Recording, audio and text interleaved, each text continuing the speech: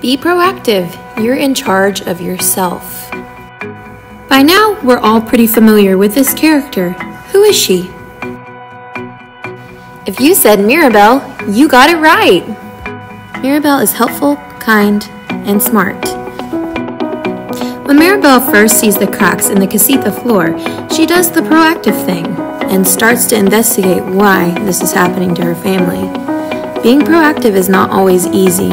As you can see here, Mirabel has to work hard to get to the top of the prophecy tower.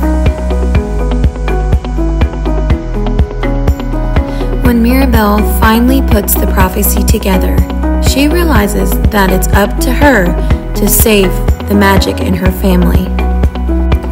Mirabel talks with Luisa and helps her realize she doesn't always have to carry everything in the family. Mirabel also speaks with Isabela and finds out she thinks she has to be perfect all the time. Mirabel shows her it's okay to not be perfect.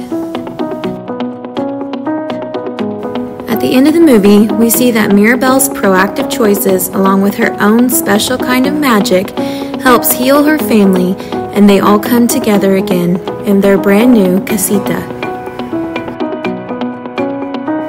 Now, let's look at a couple scenes from the movie and see if the characters acted proactively or not. First, we'll look at Abuela in this scene.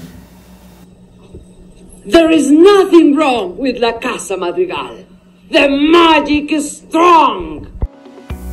Instead of acting proactively, Abuela chooses to ignore the problems she sees in her family. Eventually, this leads to the candle losing its magic. Now let's look at another character, Bruno, and see how he handles his problems. Yeah, my, my gift wasn't helping the family, but uh, but I love my family, you know. I just don't know how to. I just don't know how to.